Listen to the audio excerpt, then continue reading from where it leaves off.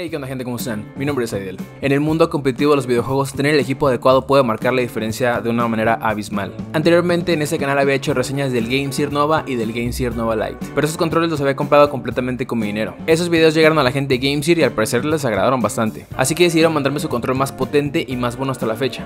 Este es el Game Tarantula Pro, y además de que es bastante bonito, está pensado más hacia el mundo competitivo de los videojuegos. Lo presentan como una de las opciones más avanzadas de gaming debido a sus características de alta gama y a su alta personalización. Este control promete adaptarse hasta el gamer más exigente. Quédate en este video porque vamos a ver cuáles son sus características tan avanzadas, innovadoras y por supuesto altamente versátiles. Así que no te robo más de tu tiempo, vamos a explorar en detalle qué es lo que hace que este Game Gear Tarantula Pro se destaque entre un mundo lleno de diferentes posibilidades. Vamos con el unboxing. Al abrir este paquete que contiene el Game Gear Tarantula Pro, tenemos una caja doble y una vez que la abras encontraremos luego luego todo lo necesario para empezar a jugar.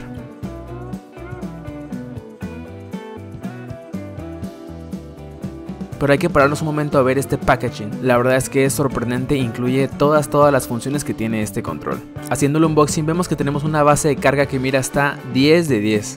Ahorita en un momento la vamos a ver en acción.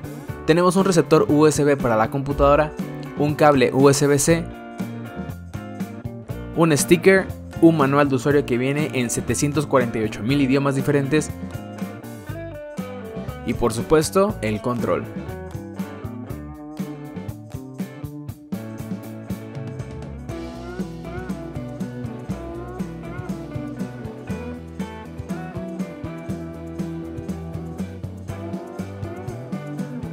¿Qué te parece si una vez que ya lo tenemos aquí empezamos hablando de la base de carga?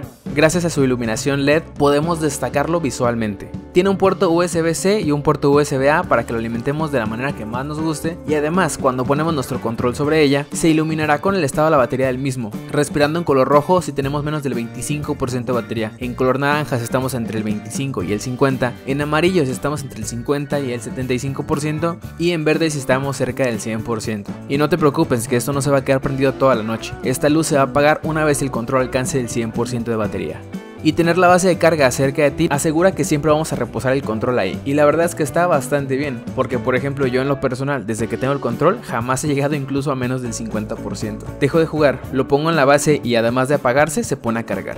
Y si te preguntas cómo se carga, aquí puedes ver que la base tiene 4 pines que concuerdan con el control solamente por contacto empezará a cargar, así que olvídate de las baterías. También es un buen detalle la inclusión del receptor USB a la PC con latencia baja, esto si no quieres usar Bluetooth y tener un control más competitivo. Y ya si eres un gamer hardcore que quiere la menor latencia posible, con el cable USB-C te asegurarás de tenerlo siempre listo para conectarte a cualquier lugar, cargarlo o jugar de inmediato. Tomando el control en las manos, podemos ver que el diseño de este Game Gear Tarantula Pro es una de sus características más llamativas. Con una estética extremadamente futurista, el control no solo se destaca por eso, sino también por su robustez. Su forma nos recuerda a los controles de las consolas PlayStation 4 y PlayStation 5, combinando líneas modernas con una construcción sólida que inspira confianza en su durabilidad. Y lo mires por donde lo mires vas a encontrar detalles. Por ejemplo, los botones que son de este tipo de pantalla. Puedes ver que son como un tipo de ventanas. De hecho, mira, te voy a enseñar un truco. Si mantenemos presionado el botón botón A, que es el de la parte sur, y al mismo tiempo mantenemos presionando el botón de modo, que es el que está acá abajo en el control, intercambiaremos los botones del lugar. Esto para tener siempre la disposición más acorde a donde estemos jugando. Por ejemplo, así está perfecto para jugar en Nintendo Switch. Y si te causa curiosidad cómo es que lo hace, este proceso es visible a través de una pequeña ventana que nos muestra los engranajes internos en acción. Yo personalmente nunca he visto nada así, y además de que visualmente cambian, en el control se siente por dentro como dan vuelta y es extremadamente satisfactorio el Game Gear Tarantula Pro no se queda atrás en términos de flexibilidad y personalización. Los gatillos cuentan con interruptores que te permiten alternar entre modos analógico, que básicamente es cuando puedes presionar un gatillo de poco en poco, así como botón o switch, que nos ofrece una presión instantánea. Esto nos ofrece una adaptabilidad sin precedentes. Cada gatillo tiene su propio interruptor, permitiéndonos una personalización precisa y una respuesta rápida según el tipo de juego que estés disfrutando en el momento. Ahora mismo te dejo un poco de ASMR para que veas cómo funciona.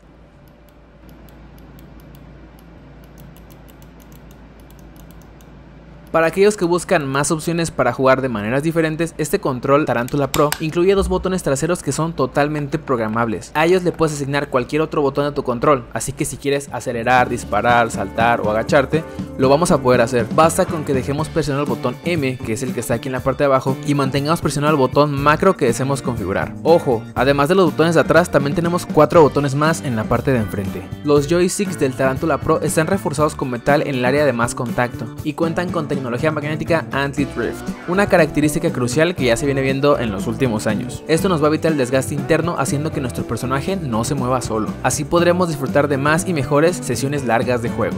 El Game Seer Tarantula Pro no solo se limita a características físicas, también internamente está equipado con NFC. Para ser específico, el NFC es este de aquí, y también tenemos giroscopio, así que juegues donde juegues, este control será siempre el todoterreno. ¿A poco no está increíble que añada funcionalidades adicionales que pueden ser aprovechadas en los juegos que soporten esas tecnologías? Y hablando de todo terreno, la compatibilidad con múltiples plataformas es impresionante. Es compatible con PC, Nintendo Switch, iOS, iPad, iPhone, Apple TV y Android. Esto lo convierte en una opción versátil para todo tipo de jugadores. Y por si fuera poco, este control tiene 5 niveles de vibración ajustables. Puedes personalizar la intensidad de la vibración según tus preferencias y el tipo de juego. Para cambiar entre los niveles, mantén presionado el botón M y sube o baja la intensidad con los botones Select o Start. Y ya para finalizar, los colores, el RGB sabroso. A pesar de que el modo de RGB de este control es bastante tenue porque tenemos una sección muy pequeña para verlo, lo podemos personalizar. Para cambiar entre modos dejaremos presionar el botón trasero M y moveremos la palanca hacia la izquierda o a la derecha para ver todos los efectos. Podemos subir o bajar la intensidad si hacemos la palanca hacia arriba o hacia abajo y para ajustar el color podremos navegar entre la gama disponible con la palanca derecha.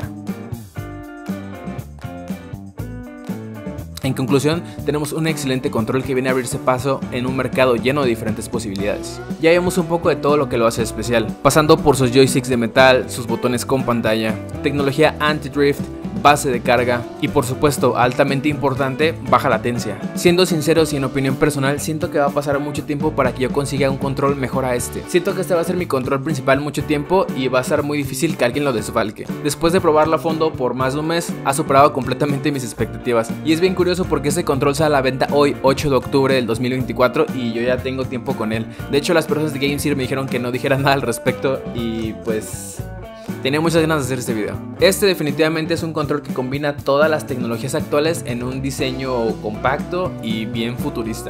La verdad es que si tuviera que dar una calificación, le doy un rotundo 10. Y pues nada, eso es todo por el día de hoy. Y no te olvides que si este control te gustó, te dejo los links aquí en la descripción y por supuesto en un comentario anclado.